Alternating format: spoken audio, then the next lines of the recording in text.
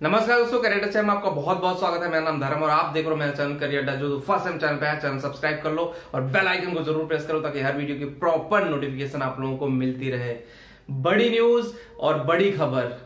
सारे इंजीनियर्स को इस टाइम चाहे वो पॉलिटेक्निक हो, चाहे वो आईटीआई हो, चाहे चाहे वो बीटेक हो, सबको एक ही चीज़ का इंतज़ार है कि भैया उनके सेमेस्टर एग्ज़ाम कब खत्म होंगे, कब स्टार्ट होंगे तो खत्म क्या? की क्या बात की जाए। तो बेसिकली इस पूरे वीडियो में हम इसी के बारे में बात करेंगे कि जो सेमेस्टर एग्ज़ाम होने वाला था मई में आपका, वो कब होगा और क्या वो एग्ज़ाम ऑनलाइन होगा, सबसे बड़ा क्वेश्चन एक सर्वे किया गया है और उस सर्वे में ये बताया गया है कि ऑनलाइन एग्ज़ाम देने के 90 परसेंट इंजीनियर्स खिलाफ हैं कि ऑनलाइन एग्ज़ाम हो। सेमेस्टर एग्ज़ाम ऑनलाइन कराने के पक्ष में नहीं है। अब पता नहीं आई डोंट नो रीजन क्या है, लेकिन मैं बताता हूँ आप लोगों को कि बहुत सारे लोगों का अपना प्लस पॉइंट ऑफ़ व्यू होता है, क्योंकि जब बुक में लिखना होता है या आंसर सीट पे जब लिखना होता है तो वहाँ पे एक अलग चीज़ होती है। और ऑनलाइन जब एग्ज़ाम देना होता है ना तो वहाँ पे चीज़ें कंप्यूटर से टाइप करने में चीज़ें मेंटली थोड़ा सा डिफ़िकल्ट फील होता है इंजीनियरिंग सेक्टर्स में। क्योंकि मैंने भी फेस किया था तो जब मुझे प्रोजेक्ट बनाना होता था कंप्यूटर पे जाके और सारी चीज़ें तो थोड़ा ऑड लगती है। लेकिन वही चीज़ें जब हम इंडस्ट्री में आते हैं ना तो चीज़ें बहुत अच्छी हो जाती है और बहुत सही तरीके से काम करती है। ऑल अभी कोई डिसीज़न हुआ नहीं है कि ऑनलाइन एग्ज़ाम कराया जाएगा, लेकिन प्रोबेबिलिटी बन रही थी कि ऑनलाइन एग्ज़ाम करा दिया जाए। लेकिन क्या आप लोगों को क्या लगता है कि अगर ऑनलाइन एग्ज़ाम कराया जाए तो सही है या गलत है? या फिर क्या है? या फिर ऑफलाइन एग्ज़ाम ही सही है?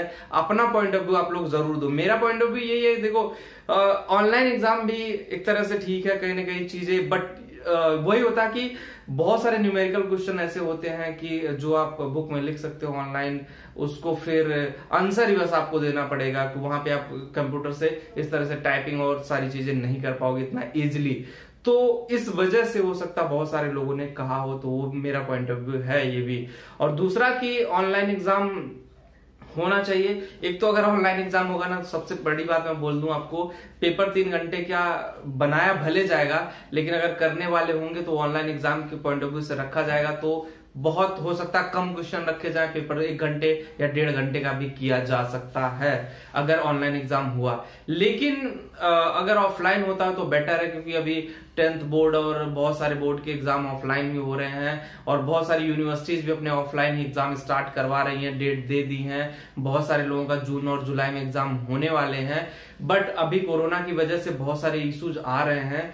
तो आप लोगों को मैं बस यही कहना चाहता हूँ, जो पॉलिटेक्निक आईटीआई बीटेक या फिर बीबीए बीसीए एमबीए जो भी कर रहे हो आप डिग्री होल्डर्स वो थोड़ा पेशेंस रखें और इस टाइम का यूज़ करें। इस टाइम को अगर जाने दिया ना तो फिर हो सकता है कि एक साल आपको पछतावा करना पड़े।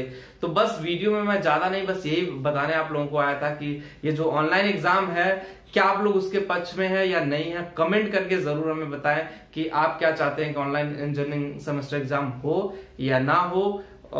अगर हाँ तो यस लिखिए, ना तो नो लिखिए। बस वीडियो अच्छी लगी तो लाइक शेयर कमेंट कर दो। थैंक यू जय हिंद. नमस्कार दोस्तों.